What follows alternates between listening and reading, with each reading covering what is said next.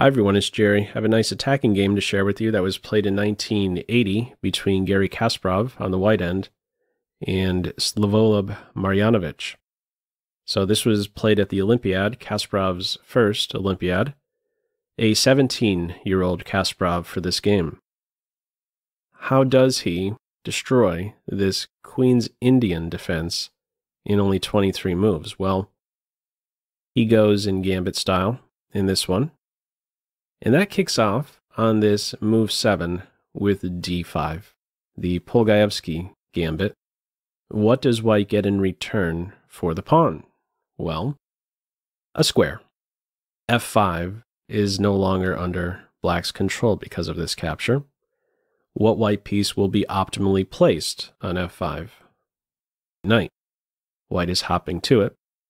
White is also pinning d5. Black breaks the pin and is now threatening to take here. This is where white now releases the tension. Knight recaptures. White's not going to allow this. There we go. 10 moves in, we have a best piece in the game. This guy here. And he's not easily kicked.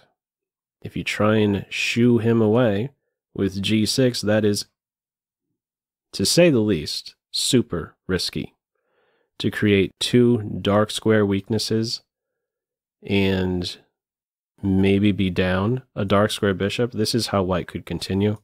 This guy right here is probably going to end up being the MVP of the game. You can't play in this way. You really should not play in this way. So, black underdevelops the knight in this one. This guy wants to contribute. Knight c3, d5 met with e4. Two things additional pressure on d5 and a path now for the white queen. Speaking of the white queen, this was my main takeaway from the game.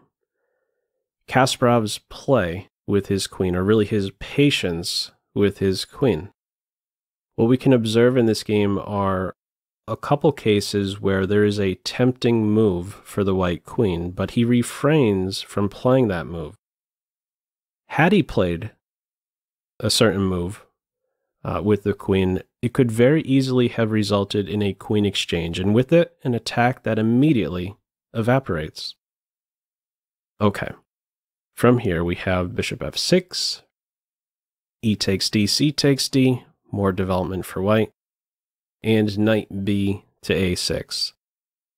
Both players are playing close to a perfect game when I share the graph at the end. You'll see it's about a flatliner up until this point, up until move 15, really. Uh, I was curious about this last move here. It seemed a little bit weird to me, developing the knight to the edge. I wondered about, you know, why aren't you going to c6 or d7?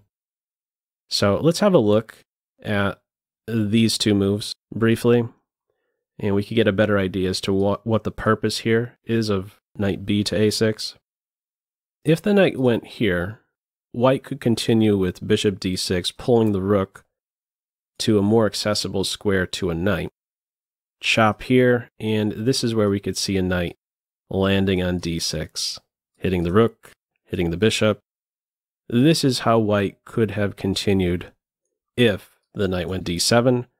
And here's an even simpler line. If the knight went to c6, you could take the knight straight away. And white is able to regain the material, pounce in the center with tempo, a position to certainly avoid as black here. Two super strong knights for white. Okay.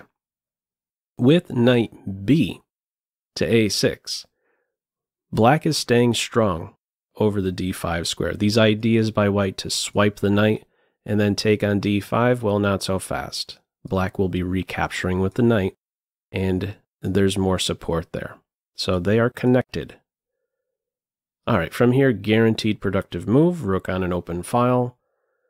Queen d7, still in the computer's eyes, in equal position. However, after Kasparov's move, bishop h3, the computer says the only way to stay in the game is to undo your last move. To go back home, in other words, this is not what black plays in this position very difficult for a human to uh, play in this way to admit that uh, your last move uh, was not a good idea. This is best in this position. In the game, the king goes to the corner. There is a threat here with bishop h3 to land a check and then win the queen. Now, this is one of the points here, this position where it may be tempting to deploy the queen. This is a move that I think may tempt a lot of players. You're pinning a pawn. You're setting up this check. Just like bishop h3, you're threatening to win the queen.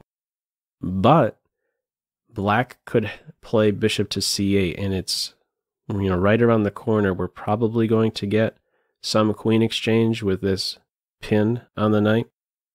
This is a way we this is a path you could go down and the queens are simply exchanged. Kasparov goes with bishop h3, abandons this main diagonal. If you're going to play in this way, you have to you should almost always be generating a direct threat to pull this bishop off the main diagonal when this guy is still around. You know, is there going to be some kind of battery? Are we going to get mated with the black queen getting down here? Okay, not so fast. There is this direct threat with bishop to h3, and black gets out of this check, knight h6. Any knight move in this position, there would be queen takes bishop. This is now a winning position for white, but with only one move. Can you spot what this move is after king h8? What does Kasparov play here? Feel free to pause the video.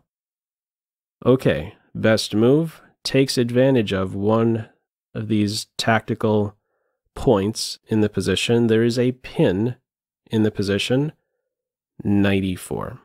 It's the d5 pawn that is pinned. The queen is unprotected. The knight is poison. There is only one defender for the black king on the king's side here. This bishop on g6. And white doesn't even want to see that guy around. Knight e4. The king's side is ready to be destroyed.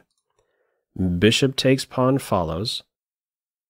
And no reaction here by the rook. You could go with a counter-attacking rook b1, but Kasparov says, let's improve the knight.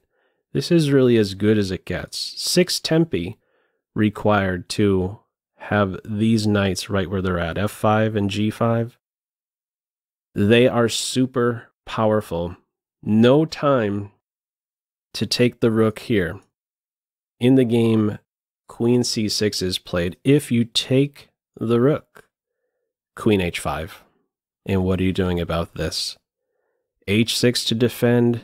You're definitely getting hit with this one. And mate right around the corner. Okay. Black plays queen c6. Is now the time for queen h5? No.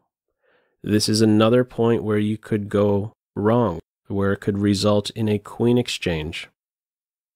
If queen h5 here. Black has queen g6. This was the point. Initially, I was thinking, oh, you're setting something up on the diagonal. No, there's this defensive idea along the sixth rank. The queen is covering all the important squares. This is considered around an evenish position. It's a saving move here for black. Okay. In this game, it is first 97. These white knights are not yet done having fun. 97 hits the queen and takes away this idea to defend with queen g6. Queen f6. Now do we move the queen? You could move the queen in this position and still be winning with queen h5, but that's apparently going to require the following moves. If you play queen h5 here, and h6. This is apparently the only uh, path, something like bishop here and then some knight jumping into h6. Some weird moves there. Anyhow, I believe this is like another position where running in with the queen, developing the queen straight away, probably not the best choice. What is white's move here. He does play the best move, and that is to take the h7 pawn. Look at these knights. Absolute monsters. Landing a fork to the queen and rook. And the knight is poison. If you take the knight, now we're finally ready for queen h5. It's hitting with check, and the queen would have to block. The queen is going to fall. It suggests first flicking in a check and then taking. Either way, winning for white. Okay. There are no minor pieces around here helping to defend the king. And white, with this last move, is stripping black now of pawn defense. It's going downhill fast for black. Queen d4. This is black's reply. I'm ready to get mated. Let's please exchange queens. White says, no way.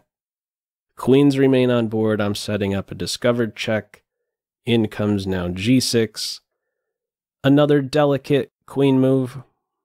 The only retreating move by white in this game takes a small step back. Queen h4. I, I misspoke. There is one other retreating move, but then it's going to be resignation. Queen h4.